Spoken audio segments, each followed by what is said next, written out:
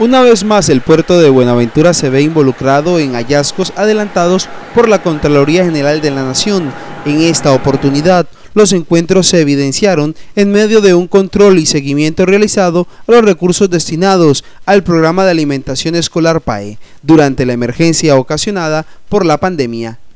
En la diligencia realizada a nivel nacional, 30 alertas fueron expuestas a posibles sobrecostos que sobrepasan los 34.856 millones de pesos, dando lugar a la apertura de cuatro indagaciones preliminares por 6.074 millones de pesos. A través de un comunicado, el organismo de control informó que los riesgos determinados por la Contraloría en esta etapa inicial, con corte al 15 de junio, proceden de la revisión y análisis realizados a 106 contratos a nivel nacional por más de 570 mil millones de pesos que tienen por objeto el suministro del programa de alimentación escolar PAE para niños, niñas y adolescentes inscritos en el Sistema Integrado de Matrículas IMAT.